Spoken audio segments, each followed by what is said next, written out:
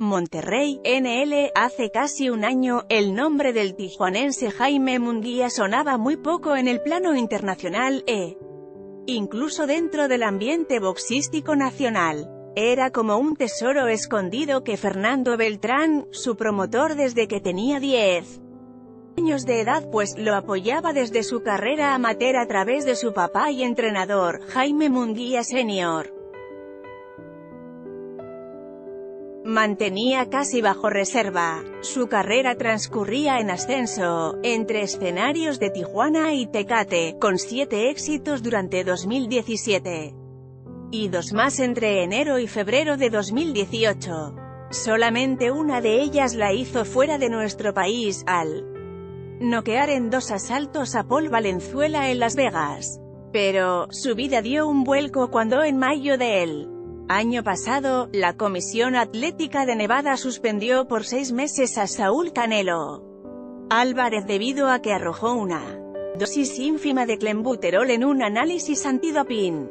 Así, de pronto, gracias a las relaciones de Fernando Beltrán, el nombre de Munguia aparecía, como primerísima opción, para desafiar a Gennady Golovkin, en ese entonces rey universal mediano.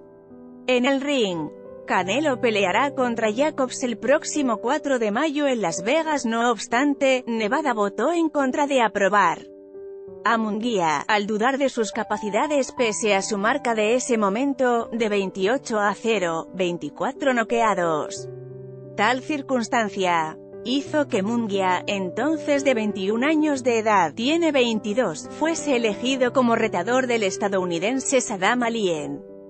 Aquel mismo mes de mayo en Verona, Nueva York, el de Tijuana respondió a las expectativas de su promotor al triturar en cuatro episodios al neoyorquino y así arrebatarle el cetro mundial super welter de la WBO, Munguía ha hecho desde entonces.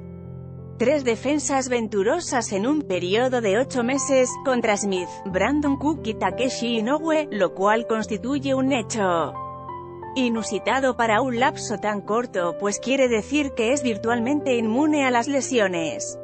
Aún en condición de soltero, Jaime recordó, a pregunta nuestra, que tenía como cinco meses de edad cuando le pusieron unos guantes por primera vez. No sé, los tengo puestos casi desde que nací, aseveró.